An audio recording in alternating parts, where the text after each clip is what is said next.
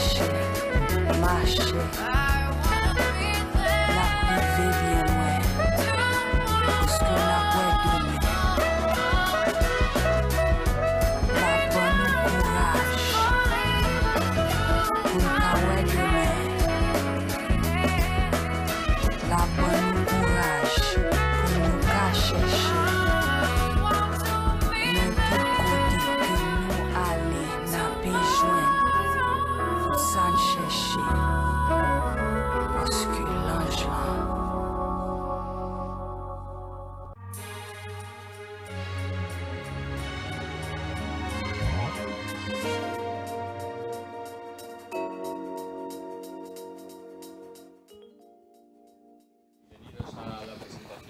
Esta novena edición del informe Deloitte eh, sobre el, el impacto eh, social de las, de las empresas. Eh, os doy la bienvenida a vosotros que estáis aquí y también a todos los que nos siguen a través de streaming. Es una maravilla ver cómo vamos abandonando cada vez más todas las restricciones. Hoy precisamente es el primer día donde se puede viajar en transporte público sin mascarilla y, y es una maravilla ver cómo cada vez eh, hay más gente en, en los actos y volvemos a recuperar eh, la normalidad. Así que muchas gracias por estar aquí y gracias a los que nos seguís eh, por streaming. Quería dar las gracias también a las casi 80 empresas que han participado en la edición eh, de este año. Eh, edición, como os digo, que es ya la novena. Llevamos eh, nueve años haciendo este informe y eh, lo cierto es que el impacto y el valor social de la contribución de las empresas en estos años no ha dejado de- crecer. Vivimos un hito muy relevante en los años pasados como consecuencia de la pandemia, donde hubo una necesidad y una demanda eh, correspondiente enorme por parte de la sociedad para que las empresas estuviesen a la altura y aumentaron de manera muy relevante la inversión social y sus acciones sociales. La buena noticia es que ese efecto, ese incremento no se ha reducido después de la pandemia, sino que se ha consolidado y continuamos eh, creciendo. Porque esta demanda, esta necesidad es algo que ha llegado para quedarse, que no va a, desaparecer y al revés cada vez va a crecer más. Veréis en la edición de este año el volumen total de la inversión social de las, eh, como decía, casi 80 empresas que han participado se acerca a los 1.500, supera los 1.533 millones de euros, con un crecimiento del, del 17% eh, por ciento en el número de proyectos, proyectos que han superado los, los 29.000. Esta demanda de la sociedad se ha trasladado a los inversores y los inversores cada vez están exigiendo más a las empresas que tengan políticas en eh, relación a los temas sociales, medioambientales eh, y de gobernanza. Y como no podía ser de otro modo, todo este movimiento está ahora impactando en la regulación. Hay una regulación en marcha, como conocéis, en la Unión Europea que establece una taxonomía en base a la cual se establecen unos indicadores que habrá que utilizar para medir el impacto social de las acciones que realizan las empresas.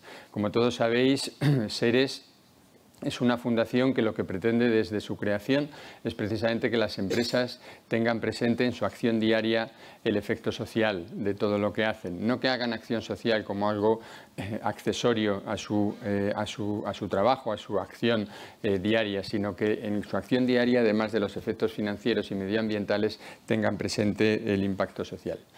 Como os decía, la regulación europea es algo que va a venir y va a venir muy pronto y veremos, no tardando mucho, que esta regulación establece la exigencia, por norma y por ley, de que las compañías informen del impacto social de, eh, todo lo, de todo lo que hacen. Yo creo que no tardaremos mucho, eh, meses, quizá algún año, en eh, ver que en las presentaciones de resultados de las empresas pues se hacen cuatro bloques, no como ahora eh, en, la- en la- en la que en el momento en el que estamos, en el que predomina el bloque financiero, sino que tendremos en las presentaciones de resultados cuatro bloques, el bloque financiero, el bloque social, el bloque medioambiental y el bloque de gobernanza. Y además esas informaciones para las que ahora, como nos estamos encontrando en seres en muchos casos, no hay información suficiente, esas informaciones estarán auditadas y verificadas, lo mismo que se audita y se verifica la información financiera. Desde Seres somos conscientes desde hace ya tiempo de que este movimiento iba a venir, por eso empezamos hace año y medio, más de año y medio ya, a trabajar en la construcción de un índice, índice que tenemos construido, que es el índice Seres de huella social, con 20 indicadores y que sigue avanzando y, estamos ahora en un momento en el que vamos a adaptar ese, índice con esos indicadores a cada uno de los sectores, porque como podéis imaginar, el impacto social que genera una entidad financiera no tiene nada que ver con el impacto social que genera una constructora o que genera una compañía que se dedica a, elaborar eh, productos eh, farmacéuticos. Nuestro plan, como os digo, es adaptar este índice a cada uno de, los sectores más importantes, eh, detallando en cada sector las actividades básicas y los índices que se ven impactados en esas actividades básicas. Este es un movimiento que va a ir progresando, que se va a ir eh, perfeccionando y, como os decía, yo creo que no tardando mucho tendremos eh, una regulación y unos estándares de, información que nos ayudarán a todos y que empujarán este, este movimiento en el sentido más positivo posible. Quería agradecer especialmente a los equipos de Deloitte eh, y de Seres que han trabajado eh, de manera muy intensa para conseguir que este informe un año más esté aquí y nada más, daros las gracias nuevamente y esperar que la presentación resulte de vuestro interés. Gracias.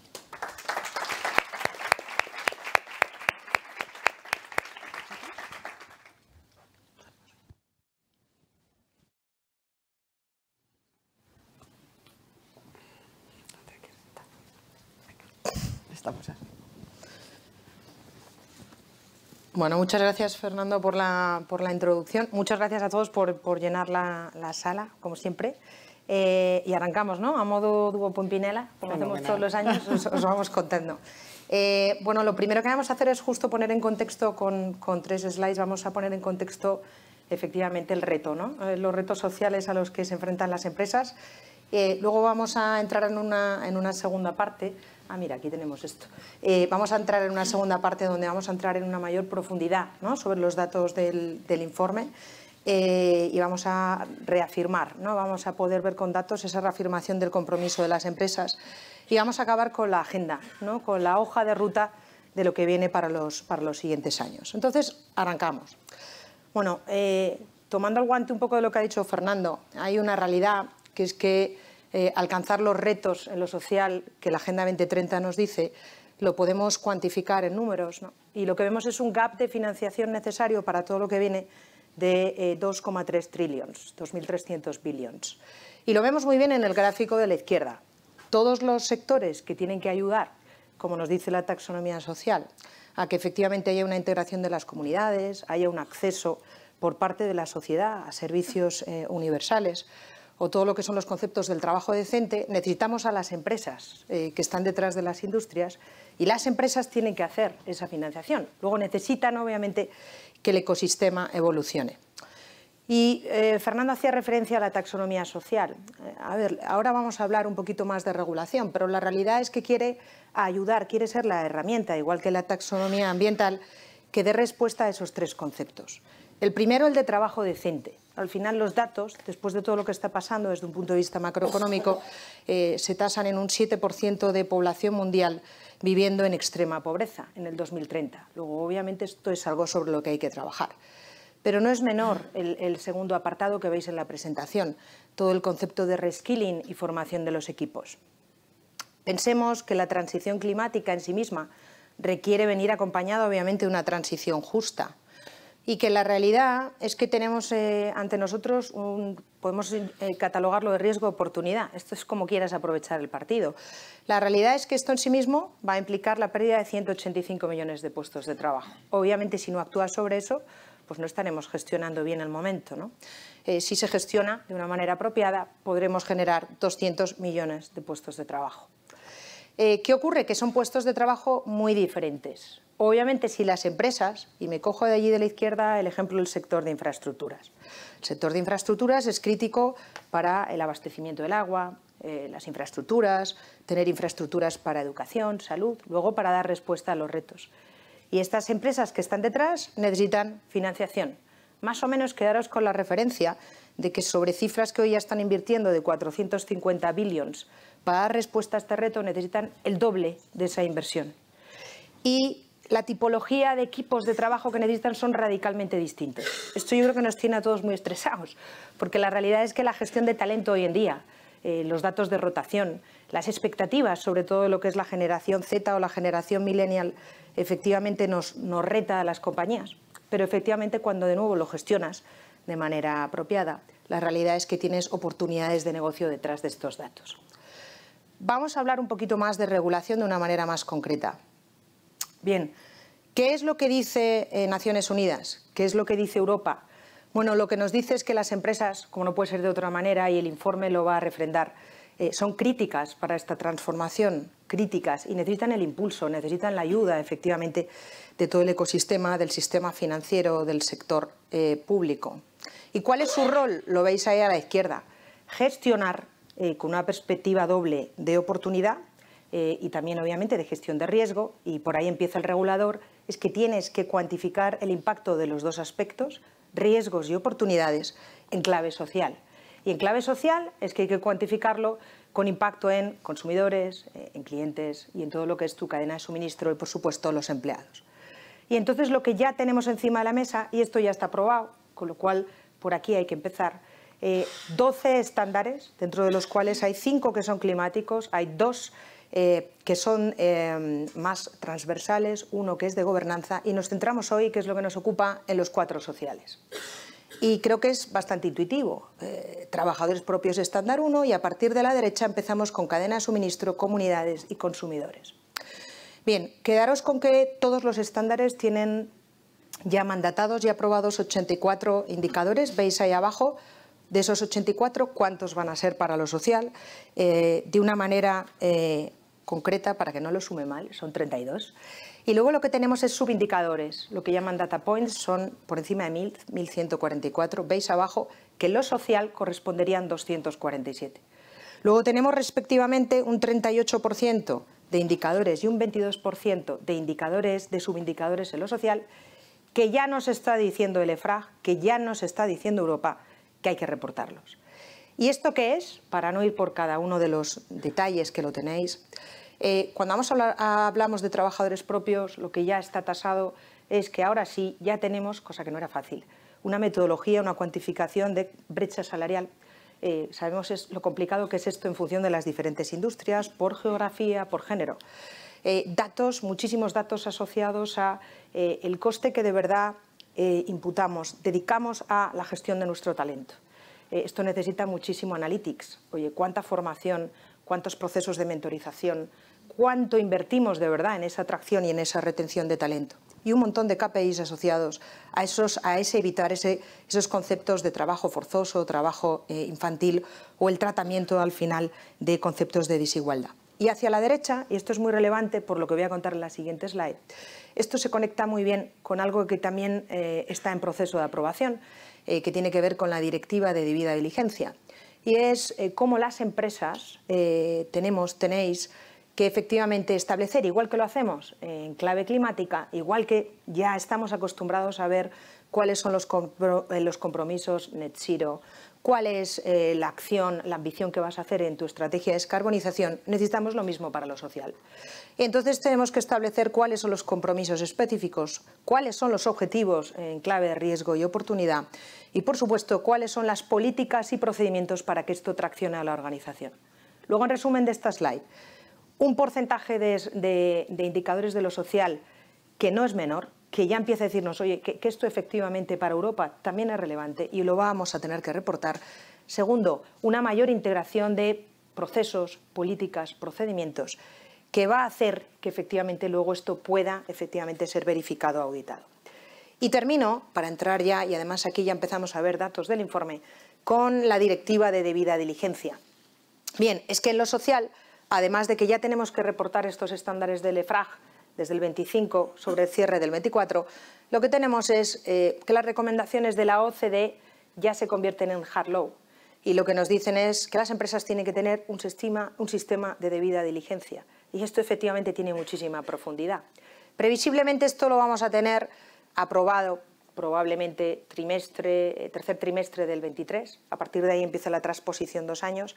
Luego, simplificando el mensaje, más o menos debería de estar como pronto, si en España se transpone eh, automáticamente después, pues en el 25, previsiblemente será más bien en el 26. Con lo cual tenemos EFRAG en el 25 con cierre 24, directiva de, de vida diligencia previsiblemente en el 26.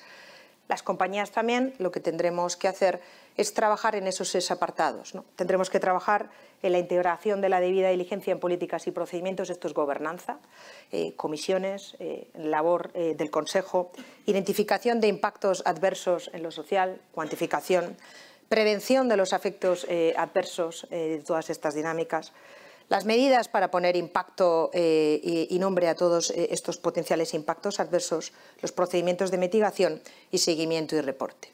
Y entonces entramos en datos del informe. La buena noticia, de nuevo, es que refrendamos en esta novena, edición que efectivamente hay dinámicas que ya son comúnmente practicadas por vosotros. ¿no? Un 97% adopta esos códigos de conducta. Lo importante viene a partir de ahí, ¿no? porque esto no deja de ser un procedimiento, que es que hay un 94% que ya toma medida para efectivamente poner fin a los impactos adversos existentes, que el 88% afirma integrar la debida diligencia en todas las políticas, afirma hacerlo, ojo, lo que decíamos es que va a ser supervisado, va a ser auditado que efectivamente esos procedimientos existan. Y el 82% está trabajando ya, manifiesta que está trabajando en introducir exigencias en cláusulas contractuales. Lo importante, como siempre decimos en esto, es qué hace tu compañía hacia adentro pero cómo tracciona también a toda tu cadena de suministro, ¿no? y si el resto lo hace también, porque si no también es responsabilidad tuya. Y terminamos con, como siempre hay recorrido, porque efectivamente este componente social eh, es el que de alguna manera hemos ido trabajando con más fuerza en estos dos últimos años y hay que seguir con la misma intensidad. Y es relevante los porcentajes que aparecen. Las compañías manifiestan que no se está evaluando en, en un 32% los proveedores en materia ESG Pensemos que al final, y un poco en línea con lo que decía Fernando, esto de lo que va es que en tres años tengamos una información integral, que tú puedas tomar una decisión en conciencia de inversión o de evaluación de una compañía integrando todos los riesgos, los medioambientales, los sociales, los financieros, los de gobernanza. Los proveedores a día de hoy con los que nos acostumbramos a trabajar, probablemente en el trade-off del negocio nos interese seguir trabajando con ellos, pero hay que incorporar una dinámica que es, si también nos interesa seguir trabajando con ellos, si efectivamente se alinea con nuestro propósito de la compañía, si definitiva también siguen todas las dinámicas que el ecosistema ya está pidiendo seguir. El 63% de hecho no realiza eh, auditorías a proveedores, el 46% no dispone de esas medidas de penalización a las que hace eh, referencia la directiva y el 38% no dispone de mecanismos de reclamación. Lo que hacemos ahora, si os parece, es, eh, Ana, avanzamos a, oye, Vamos a poner en, contexto que hemos trabajado en el informe y profundizamos sobre los datos. Pues muchísimas gracias, Concha. Eh, permitidme que de nuevo reitere el agradecimiento, ¿no? por supuesto, al equipo de Deloitte, porque ya que la novena edición, como ha dicho Fernando, pues sigue apostando por, por, este informe y sobre todo pues, por medir el pulso ¿no? en la dimensión social, que es la dimensión más exigente al equipo de seres también y, cómo no, a todas las empresas. ¿no? Esto además eh, surge porque a pesar de los 100.000 modelos ¿no? y la cantidad de, organizaciones que os pedimos datos, pues estáis vosotros ahí. Queréis realmente eh, dar esa transparencia y formar parte ¿no? de, lo que significa el impacto social de las compañías. Por lo tanto, mm, un año más, mil gracias. El año que viene es nuestro décimo aniversario y esperamos bueno, pues, eh, pues conseguir realmente eh, esta tendencia, ¿no? esta tendencia que vais a ver constante de la implicación de las empresas en el impacto social. Eh, en este caso presentamos los datos como del 2021, todavía están presentando compañías datos del 2022, siempre lo que nos pasa en los sociales es que vamos con este, con este tiempo de decalaje.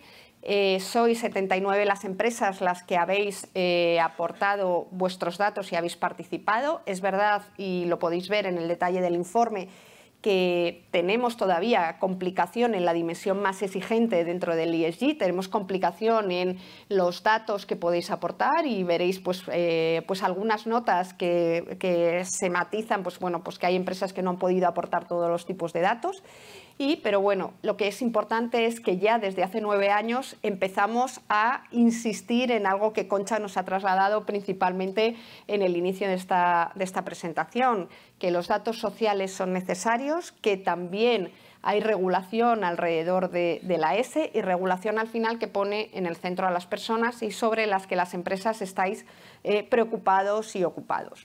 Como veis también en, este informe, eh, lo que hay es una diversidad como, la que tiene Seres, con sus 150 compañías, 75% del, del IBEX, más del 35% del PIB en los sectores, en los sectores principalmente que representan nuestra economía. Y bueno, pues veis especialmente bueno, pues el, peso también que tienen eh, eh, bueno, pues, eh, los servicios, pero también empieza a haber, pues, como ha dicho también Concha, pues industria, ¿no? industria que tiene especial relevancia en algunos indicadores, sobre todo relacionados a lo mejor con, la parte de, de derechos humanos. ¿no?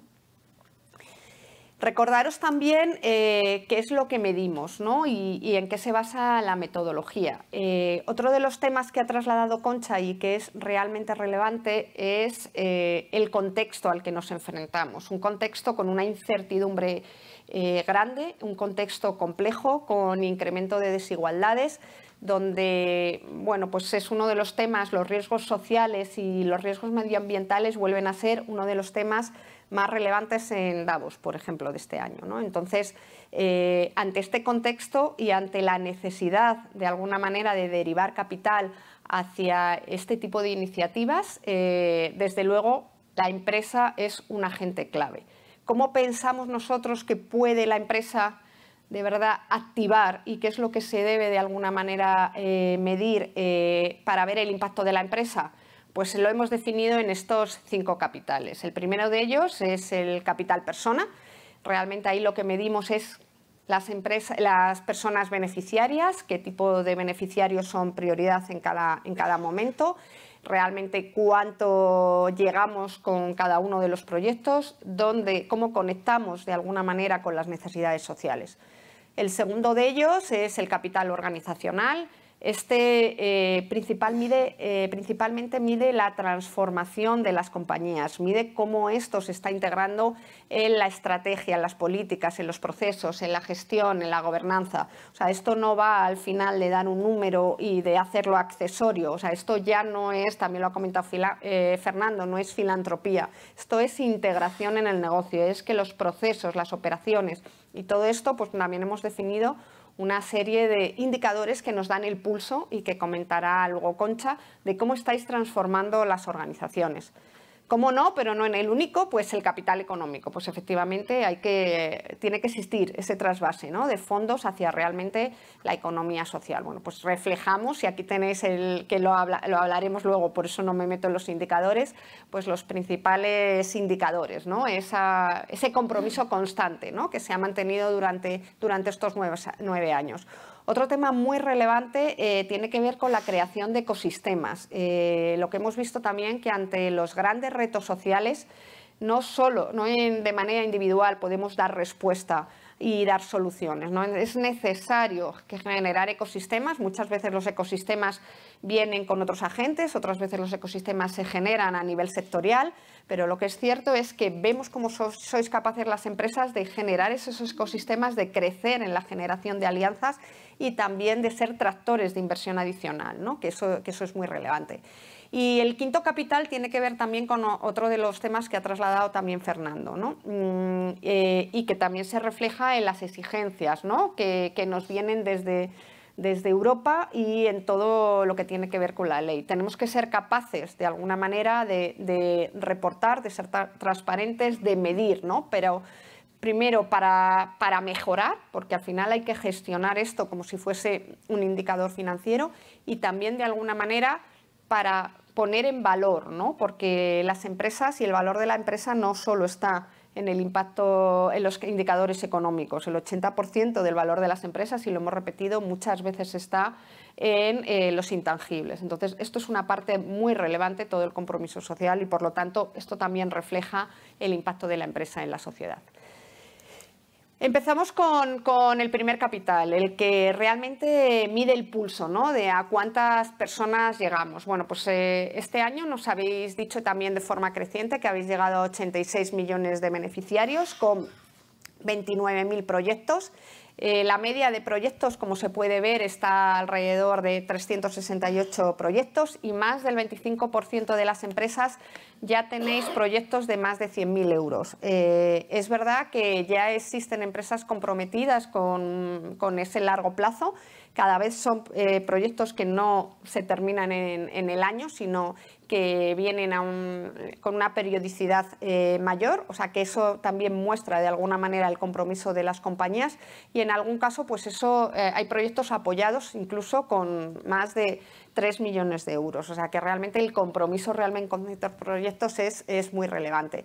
Eh, en este caso, ¿dónde, se pone principalmente el foco? Pues se ha puesto, estamos contextualizando también en el año 2021, eh, todavía eh, un impacto importante del COVID, salud y bienestar en todos, ya no, todo como, ya no solo como emergencia, pero sí también como algo que se ha quedado dentro de nuestras organizaciones, sigue siendo eh, bueno, pues el, bloque que se lleva más cantidad de proyectos. Y otro tema muy relevante, también relacionado con todo el tema de digitalización, tiene que ver con la educación y por supuesto pues temas también que ha, mencionado Concha con el tema de ser tractores del territorio, pues hay muchos de vosotros que insistís también en temas de cohesión social y territorial.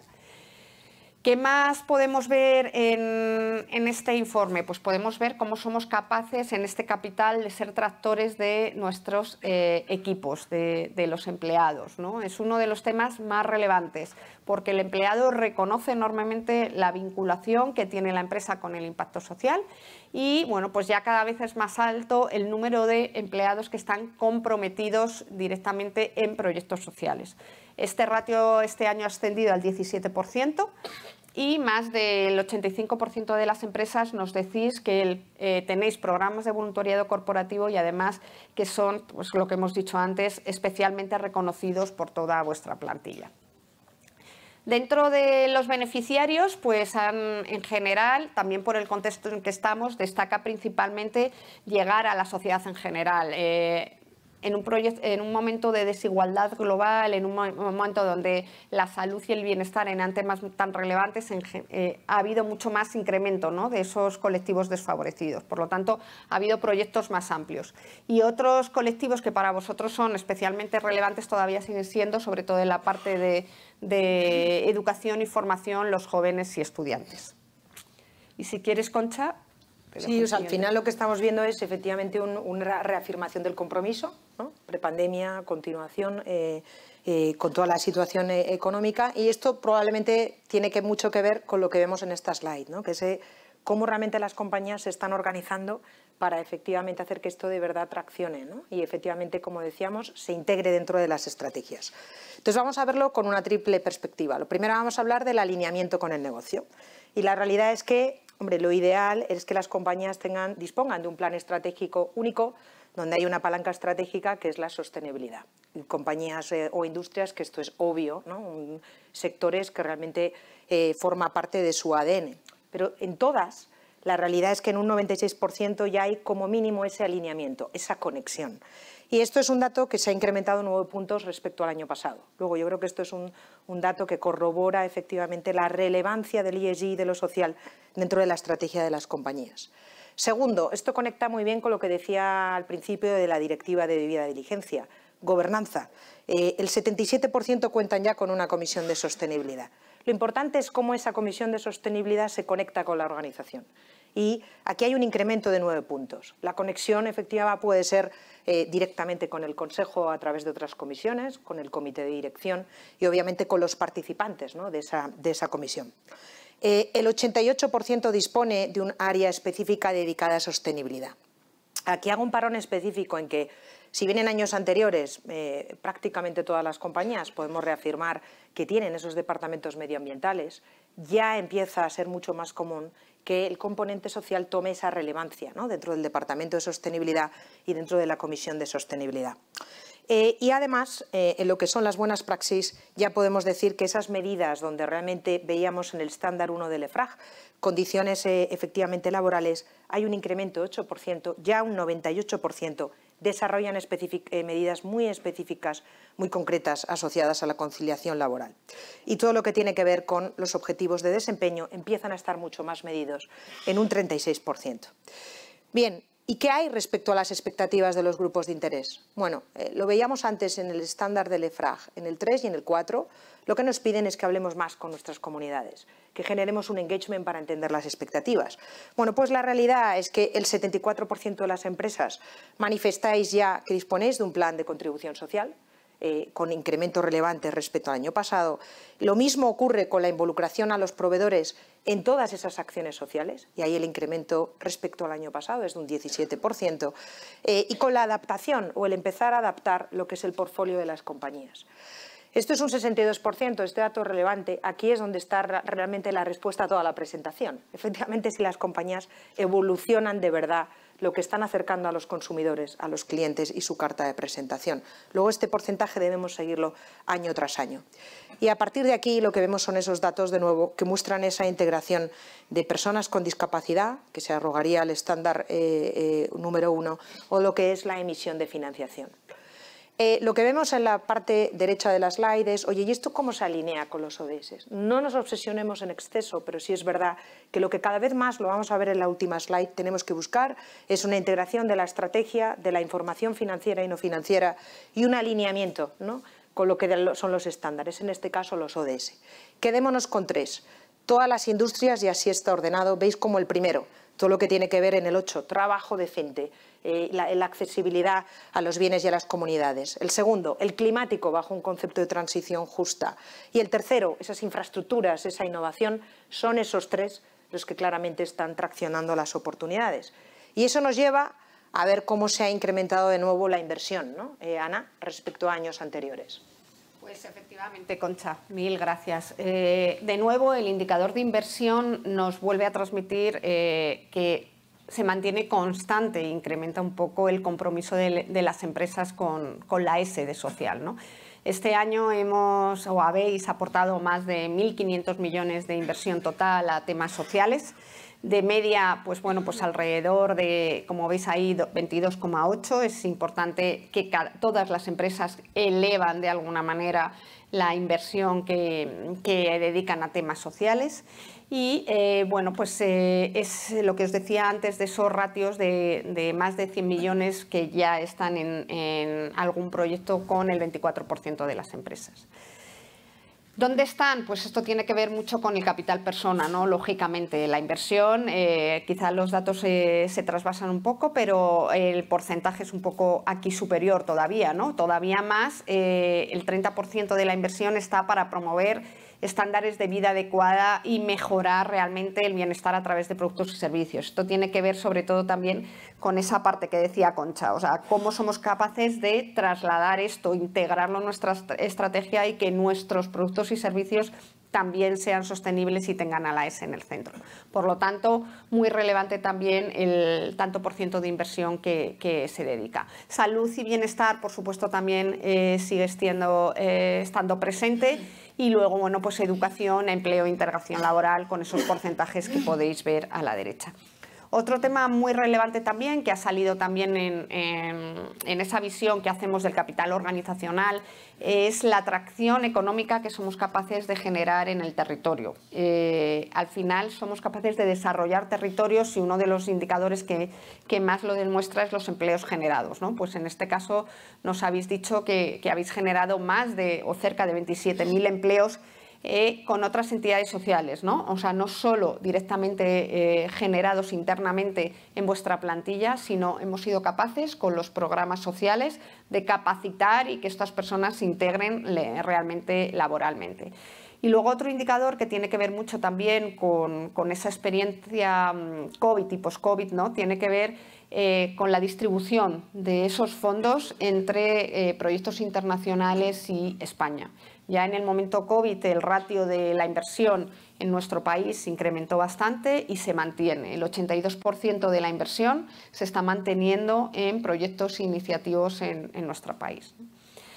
Eh, otros dos indicadores importantes que veis ahí, que para nosotros también son muy relevantes en el apartado de capital económico, tienen que ver con eh, la financiación que es algo que cada vez, bueno, pues lo estamos escuchando más, ¿no? Y entonces empezamos a medir también. Estos son indicadores que empiezan a estar eh, relevantes, ¿no? Y entonces, ¿cómo somos capaces de generar financiación con criterios sociales? Y hay dos indicadores que también nos muestran esta tendencia constante y alcista, que son que el 15% de las empresas han emitido instrumentos de financiación con criterios sociales, aquí matizamos, no medioambientales, sino sociales, y el 11% de las empresas que han reportado han recibido financiación gracias a incluir estos criterios sociales. Por lo tanto, también unos indicadores muy relevantes de esa conexión ¿no? del impacto social que tienen con, con el impacto económico. Por alguna cara de, la parte delantera vamos a agilizar ahora, porque yo creo que nos estamos, nos estamos viniendo arriba, entonces nos quedan tres slides de todas maneras, pero así para dejaros tiempo. Vamos a lanzar los últimos dos mensajes de eh, los capitales. Relacional, dos mensajes principales. Oye, ¿cómo se está generando esa red de colaboración?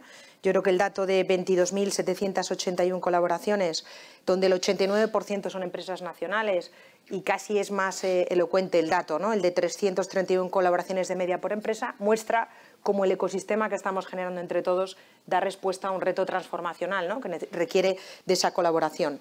Dos datos más, esos 155,5 millones de inversión adicional, es muy relevante el dato porque es muy similar eh, al periodo de pandemia y es el doble que los, eh, periodos previos. Da la sensación de que esta inversión está para quedarse. El CXO report de Deloitte que publicábamos eh, la semana pasada nos reafirma ya sobre el año siguiente, ¿no? sobre el 22 y la previsión del 23. Eh, por cada euro de inversión en proyectos se arrastra un 11% de inversión adicional de terceros, luego esto genera ecosistema, y veis a la derecha el compromiso con la sociedad, cómo realmente lo que se está haciendo es que toda esta colaboración es eh, con un ecosistema que está efectivamente comprometido, ¿no? a través de convenios de derechos humanos en un 76%, a través de la involucración de los clientes en las actuaciones en un 74% y a través de la involucración de los eh, proveedores en un 92%. Y en esos dos últimos casos, eh, con porcentajes de incremento respecto al informe del año pasado de un 10 y un 17 respectivamente. Y terminamos con el capital de comunicación social. Al final yo creo que el titular es lo que refleja lo que queremos medir aquí, que hemos comentado al principio, que la transparencia es la palanca para promover las mejores prácticas y para realmente gestionar y mejorar en el compromiso social. Eh, insistir en algo que ya, vamos, que va a estar aquí para todos, pero que ya teníais integrados, que lo ha dicho Concha al inicio, que es el 98% de vosotros contáis con información no financiera, que nos falta en algún caso eso, la integrar la financiera y la no financiera, y luego eh, que el 89 evalúa y comunica sobre el impacto de su contribución. Eh, mirad, yo creo que aquí tenemos eh, importantes retos por lo que decíamos al principio. El valor de una empresa no solo se representa por los indicadores económicos, o sea, hay una parte muy importante en vuestro compromiso y por lo tanto esto tiene que formar parte de la comunicación. Y luego porque las empresas realmente sois tractoras de, otros agentes y de otras empresas de menor tamaño, ¿no? que, eso es también lo que queremos representar en la parte derecha. Como, bueno, pues Seres tiene también esa vocación de sensibilización, pero es que vosotros también como grandes agentes tenéis esa eh, vocación de contagiar a otras compañías más pequeñas y otros agentes con el compromiso social. Entonces, esto es un poco el objetivo y estos son los datos que, lo muestran. Vale, entonces concluyendo después de todo esto, eh, lo, primero es una iniciativa como la que, la que se inició en este informe hace nueve años es crítica. Lo que estamos viendo en la implantación de la taxonomía ambiental es que el regulador nos da herramientas, las hemos estado viendo, pero hay que interpretar las herramientas y hay que hacer el caso a medida para cada industria. Luego, iniciativas como la de Seres, eh, los premios que comentabas ahora, también el tema eh, que tiene que ver con herramientas de medición, van a ser muy necesarias para cuando todo esto haya que implementarlo de facto en dos años, se hayan hecho ejercicios de entendimiento y de explicación de cómo esos KPIs os afectan en cada caso. Luego, poniéndonos en vuestros zapatos, hoja de ruta. Lo primero es igual que la parte ambiental. Igual que tenemos un plan de descarbonización, tenemos que entender las expectativas sociales de los grupos de interés. Importante este segundo apartado, expectativas sociales de los analistas, compañías que sois referentes están trabajando y les importa mucho qué dice Bloomberg de vosotros o qué dice SharePoint de vosotros, porque ahí es donde efectivamente están los KPIs sociales en una mayor profundidad. Nada de esto es realmente eh, va a impactar, va a integrarse la organización si no está alineado con la cultura, con el propósito de la compañía. Y a partir de ahí empieza lo fácil, ¿no? Si hemos entendido bien, si hemos hecho el plan, si está integrado, entonces marcaremos los compromisos y empezaremos con lo de la derecha trabajar en todos estos indicadores de reporting. Hoy os hemos dado los datos, oye, cómo la doble materialidad nos va eh, a hacer cuantificar riesgos y oportunidades, cómo lo vamos a poder hacer a través de esos estándares, cómo vamos a tener que integrar esos procedimientos de debida diligencia y, by the way, va a haber una supervisión. Luego todo esto, no más tarde de tres años, va a ser, veremos cómo será verificado, si será un reasonable assurance o será como está ahora. Lo que está claro es que va a haber una supervisión y, por tanto, el modelo de gobernanza y de gestión va a ser crítico para garantizar que efectivamente tengamos un impacto social relevante y que efectivamente el ecosistema analice el resultado, el rendimiento financiero, pero también el rendimiento social. No sé, Ana, si quieres Cerramos, yo creo que como nos hemos ido y como tenemos el turno de preguntas, eh, bueno, pues estamos a, vuestra disposición para, para, hacer. No sé si Fernando se incorpora también con nosotras. Nos movemos. Queremos preguntas, ¿eh? que hemos hablado mucho, pero para, para, que nos preguntéis. O sea, que si no seguimos, esto es un riesgo.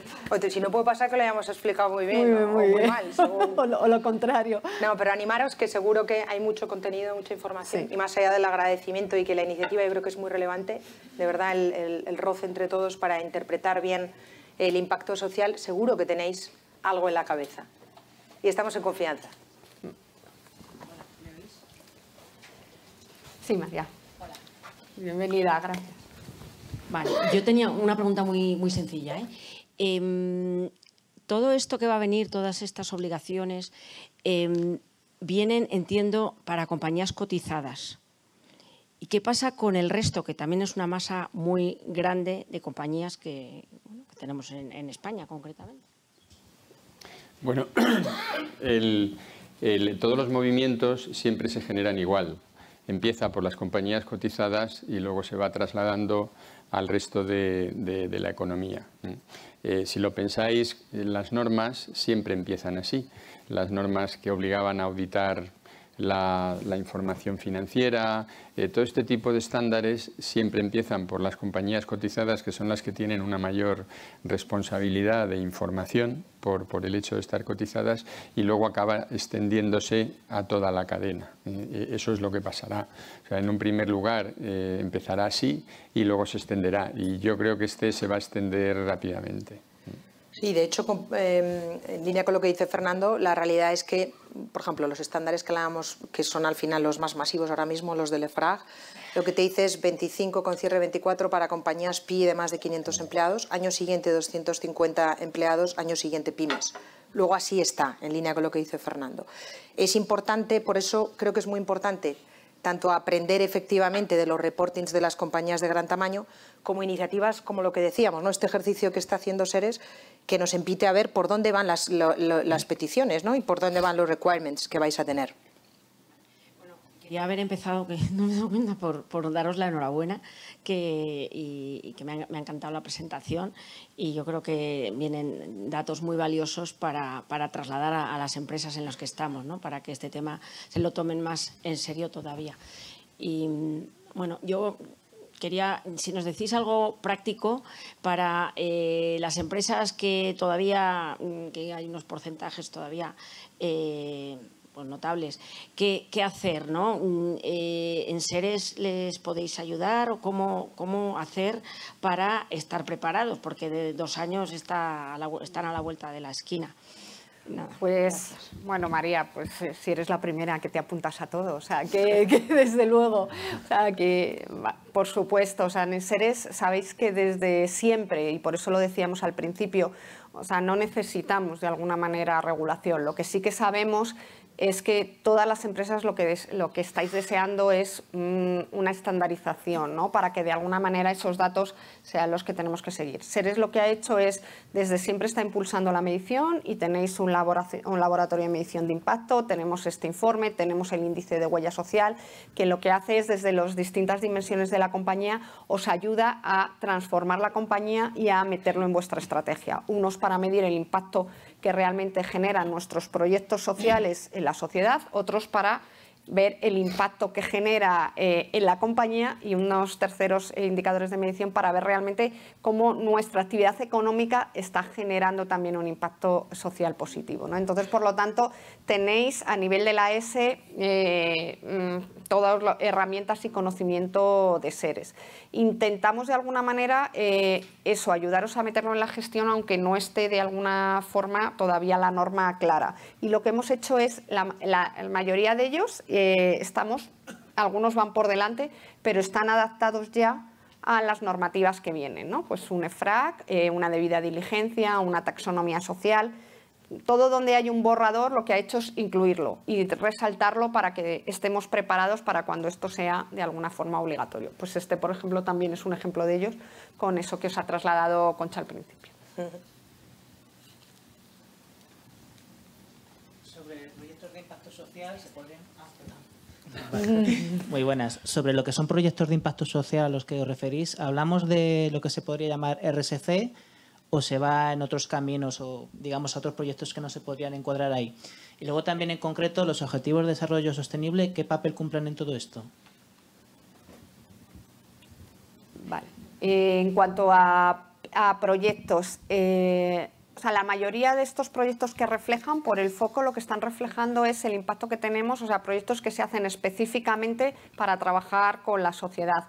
Lo que pasa es que cada vez están más entroncados, que es lo que buscamos en la estrategia de negocio, que es lo que tiene que ser para ser sostenible.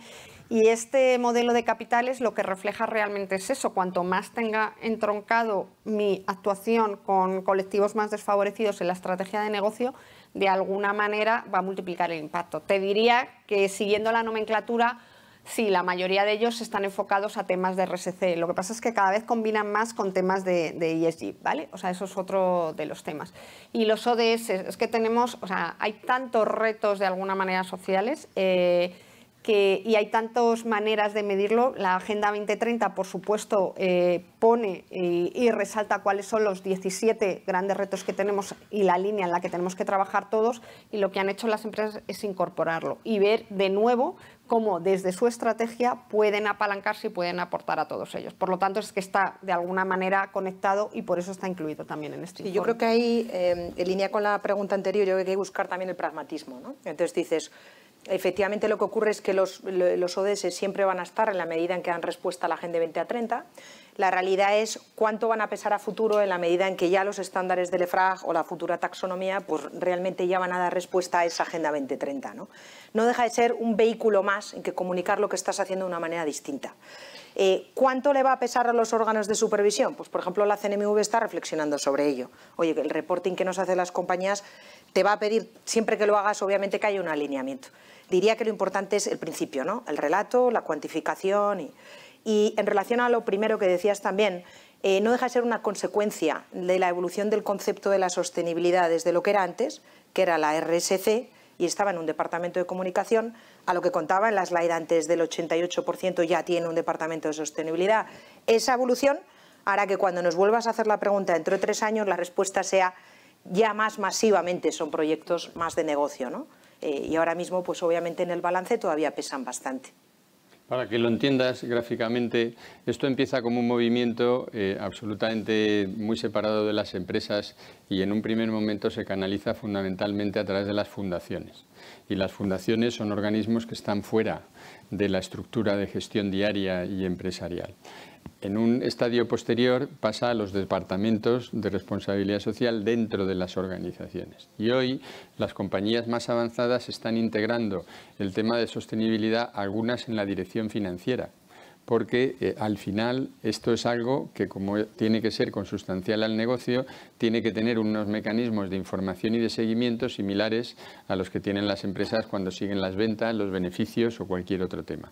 Y ahora el reto es construir bases de datos para ver en cada actividad de una empresa no solo qué incremento de ventas genera, sino qué impacto genera en el empleo directo, en el empleo indirecto, en, el empleo en la colectividad, dónde está ese proyecto y todo eso hay que integrarlo en la estructura de información diaria de, la empresa. Esa es la evolución.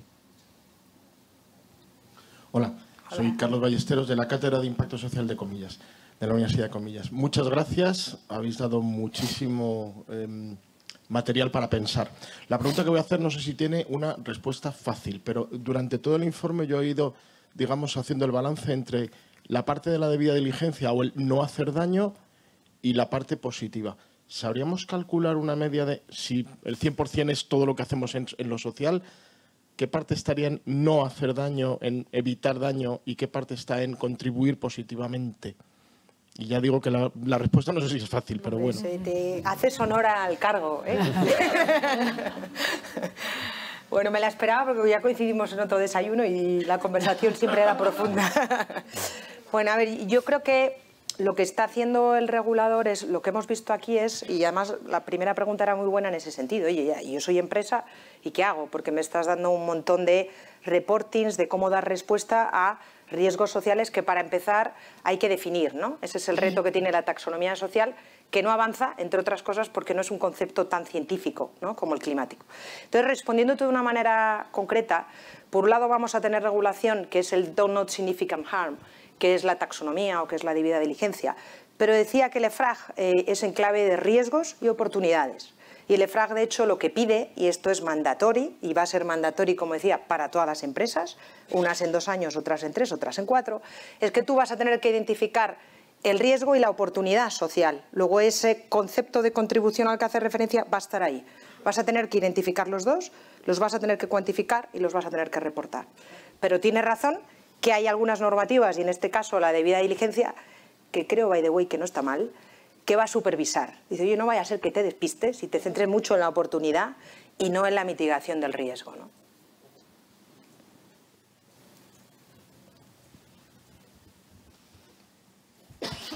¿Qué tal? Buenos días. Soy Sara Blázquez, Coca-Cola en España. Una pregunta también un poquito práctica. En cuestión de auditoría y de seguimiento del cumplimiento de los indicadores, las normativas me han quedado claras. ¿Quién es el regulador o reguladores que se van a preocupar de supervisar y de observar este cumplimiento? Muy buena. a ver, em, de hecho además ahí puedo poner incluso algún ejemplo de lo que estamos viviendo ya con, la taxonomía medioambiental ¿no? y la dificultad que están teniendo las empresas. Primero respondo de una manera concreta y luego pongo el ejemplo. Bueno, aquí lo que tenemos es, eh, si lo que hemos dicho eh, es que la información financiera y no financiera va a converger, como no puede ser de otra manera, lo que buscan los estándares que es que cuando tú identificas un riesgo, me da igual el apellido que le pongas, del tipo que sea, lo que tendrás que hacer es conectarlo con tu balance ¿no? y con tu PNL y ver qué efecto tiene en el valor de tus activos, en tu cash flow, etc. Bien, si eso es así, lo que tendremos es al final del camino el mismo supervisor que tienes para todo lo demás, los mismos.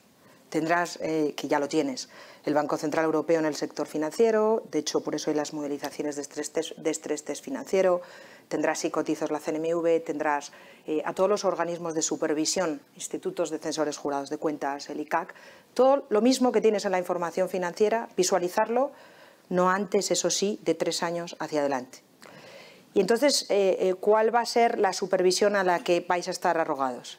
Y ahí es donde pongo los ejemplos. Ahora mismo la realidad es que los auditores lo que tienen es, en la información financiera, emiten un, informe de auditoría, que lo que das es eh, seguridad eh, sobre, efectivamente, das una opinión sobre si el balance refleja la situación fiel de la compañía. En cambio, en la información no financiera no estamos eh, al mismo nivel. Es, perdonar los tecnicismos, es un ISAE 3000, pero explicado de manera sencilla es, oye, algo te llama la atención o no, realizas unos procedimientos.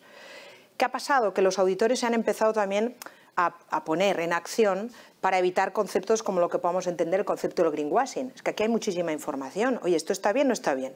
¿Esto tiene control interno o no tiene ¿Esto es seguro o no es seguro? Bien, ese informe no, no, da, no está escrito para dar esa seguridad. Entonces, ha entrado el Instituto de Censores Jurados, porque está habiendo mucho debate con la implantación de la taxonomía ambiental, y lo que está diciendo es el auditor lo que tiene que hacer en este estadio es velar porque las compañías le cuenten su criterio, les cuenten los procedimientos y vean si hay un alineamiento. ¿Qué vendrá a tres años? Algo, como decía, mucho más acercado. Eh, será asuran razonable o será una auditoría como el FO y, por tanto, el auditor vendrá con su control interno, sus procesos, etc. Luego, siendo muy pragmática, en el corto plazo van a tener que ayudaros a que efectivamente fomentéis esos procedimientos, esas políticas, ese criterio, esa integración eh, pero no descubro nada si digo que está habiendo muchas conversaciones donde la compañía interpreta una cosa y, eh, por tanto, va a ser relevante la conversación.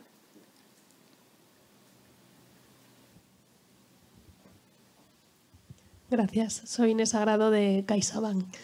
Quería consultaros, lleváis nueve años, ¿no? ya casi una década haciendo este informe, y ver un poco cómo, qué es lo que más resaltaríais, cómo ha sido la evolución de las empresas. He visto que primero participaban 50, ahora ya somos casi 80 en este estudio. ¿Cuál es en sí lo que más diferenciaríais ¿no? que estamos haciendo y qué camino nos queda por recorrer por todo esto que estáis comentando? ¿no? Gracias. Pues eh, gran pregunta también.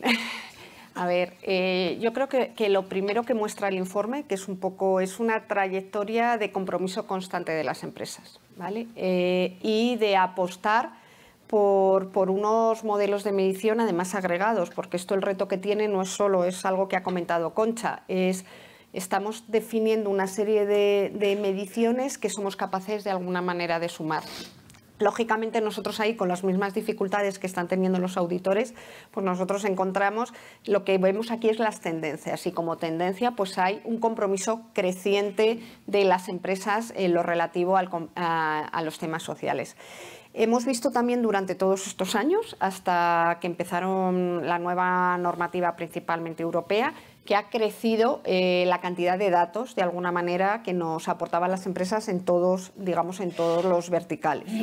Es verdad que con el orden eh, de alguna manera las empresas están revisando sus mediciones y eso nos lleva a que también pues alguno de los digamos de las desagregaciones de los datos no los, los están parando ¿por qué? porque quieren revisar procesos se ha hecho todo mucho más exigente están revisando procesos para dar y por eso pues cada vez las notas es este dato no se aporta para eh, ir de acuerdo a los sistemas y a la eh, sistematización que llega entonces por lo tanto primero constancia en el compromiso incremento de todos los capitales de alguna manera dedicados, pero a su vez reflexión en los procedimientos que hace que seamos mucho más conscientes de lo que estamos de alguna manera reportando.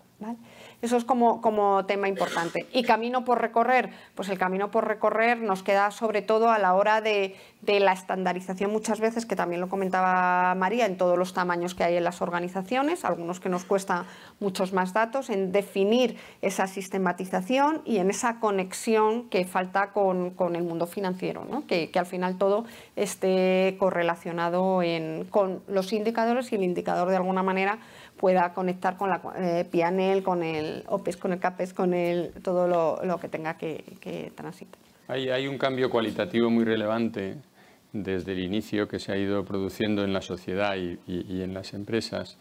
Para que lo entendáis gráficamente, en un inicio lo que se pedía es que las empresas hiciesen acción social los bancos, que tuviesen fundaciones. Y tal. Hoy lo que pide la sociedad es que los bancos tengan en cuenta en la gestión de las hipotecas quienes no pueden pagar y en vez de ejecutar, mm, ganar dinero y luego hacer acción social, tomen las medidas antes para que eso no se produzca. Entonces, ahí es donde está el meollo de la cuestión y por eso es un movimiento complejo, porque eso requiere de información, en, toda la cadena diaria de actividad de la empresa para poder tenerlo en cuenta, tomar esas decisiones, ver su impacto financiero.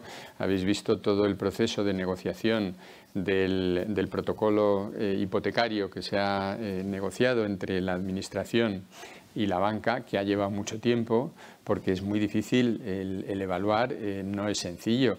Las empresas tienen que pensar en su viabilidad y en su rentabilidad y, no son decisiones sencillas, hay que tener en cuenta niveles de renta, niveles de ruptura, condiciones, todo es muy complejo. La ventaja es que hoy la tecnología nos permite eh, tener acceso a esta información, pero hay que prepararse. Hoy vamos a la farmacia y con la tarjeta sanitaria saben nuestro nivel de renta y nos dicen cuánto tenemos que pagar de cada medicamento. Bueno, todo eso mm, eh, es posible, pero hay que eh, irlo asumiendo y modificando. Estamos en ese proceso, pero llevará, llevará su tiempo. Eh, parte de que lo ha comentado Concha también, de lo que comenta Fernando, lo refleja el capital organizacional. Para nosotros eso ha sido una importante radiografía de la transformación de, las empresas. Lo otro es la trayectoria constante, pero cómo lo integráis, el dato que ha comentado Concha de cómo se traslada a productos y servicios, eh, toda eh, la transformación empresarial que estáis haciendo, cómo lo incorporáis a procesos, a gestión, a gobernanza. Eso al final es uno de los indicadores que más eh, eh, bueno, pues nos da ese pulso de la transformación que se está viviendo en las empresas. Hay, un punto, yo creo que todavía, eh, lo digo, aquí hay, estáis varios medios de comunicación, todavía los medios de comunicación que son parte de este proceso están también evolucionando en la manera de comunicar todo esto, porque vemos que en las presentaciones de resultados que se están produciendo solo se destacan los temas financieros. Mm, yo diría que en el 100%. Sin embargo, es curioso que cuando ves eh, la información que elaboran las entidades en la presentación de resultados, también hay temas sociales y hay temas medioambientales. Sin embargo, esos no se están todavía destacando como parte del, cuerpo de información que se traslada a la sociedad. Yo creo que eso irá cambiando y, se irá adaptando e iremos evolucionando a los cuatro bloques que yo os decía y habrá cuatro apartados de información que cada trimestre, en el caso de las empresas cotizadas y cada año, en el caso de las demás, se irán eh, informando. Muy bien. Pues, eh, Hola. Oye, pues vamos a poner ah, un vídeo. Ah, perdón. Venga, una última pregunta. una última. Bueno, en primer lugar, felicitaros, Catalina de May de, de Riu. Yo no sé si sois conscientes de, la capacidad de influencia que tiene este informe y la propia Fundación Seres para el resto de compañías, incluso las que no estamos en, la fundación, ¿no? Supongo que sí, entiendo Por poco que tiempo, ¿no? no, no, sí, Catalina ya, ya, ya Soy fan vuestro en estos nueve informes. Lo digo porque no sé si habéis podido también medir en esa capacidad de influencia que tenéis para las empresas que participan del informe sobre que esa metodología de, información y al final de evaluación puede acabar siendo también una, una manera de plantear la estrategia social de la compañía, ¿no? en línea de, lo que aportaba justamente ahora mismo el, presidente, de decir, no estamos hablando de la acción social, sino del valor social, que son dos conceptos completamente diferentes. ¿no? Y de cómo esa metodología que aplican las organizaciones que participan en el informe puede ayudarles no solo a medir lo que tienen que hacer y a tomar decisiones sobre ello, sino a planear sus objetivos con esos mismos criterios. Sí, acabaremos eh, viendo, eh, por ejemplo, mm, hoy eh, el tema es que es muy distinto por sectores. Por ejemplo, en el sector de infraestructuras ya nos están diciendo las empresas que en los pliegos de, concurso, por supuesto, uno de los temas que se tiene en cuenta para adjudicar o no una obra son los impactos medioambientales y se están empezando a introducir elementos sociales también. Por ejemplo, este año uno de los premiados en los premios Seres ha sido Acciona y nos decía Acciona que eh, un programa que tienen, que es el 50-50, que fue el premiado, por el que en todos los proyectos que hacen tiene que haber un 50% de hombres y un 50% de mujeres, les había servido en dos concursos para tener eh, impacto, para tener valoraciones positivas y ganar el, concurso. Lo, que dices es, es, así, es decir, imaginaos por ejemplo, una entidad financiera que evalúa el impacto de una subida de tipos de interés en la cartera hipotecaria. ¿eh? Pues hasta ahora lo que se mide es, oye, subimos el tipo de interés, eh, esto nos va a generar unos ingresos mayores de tanto, eh, se calcula el impacto en la morosidad, pero no se está calculando el impacto en familias que no van a poder eh, pagar y el efecto que eso va a tener, cuántos créditos vamos a tener que ejecutar, cuántas compañías estadísticamente vamos a tener que desahuciar, qué pasa si no hacemos esto y qué medidas podemos tomar. Eso ahí no hemos llegado todavía. Estamos mm, dando pasos para, para, llegar. Lo mismo en una compañía constructora, pues qué impacto medioambiental voy a tener con este proyecto, cómo lo puedo mm, eh, eh, amortiguar, cuánto me cuesta, qué impacto tiene eso en la rentabilidad. Eh, todo esto mm, va a ser un cambio muy profundo que va a requerir tiempo, pero que al final es donde vamos a acabar. Iremos. Eh, tres minutos más, os ponemos un vídeo y cierra, y cierra Fernando, que recoge de nuevo los principales indicadores. Pues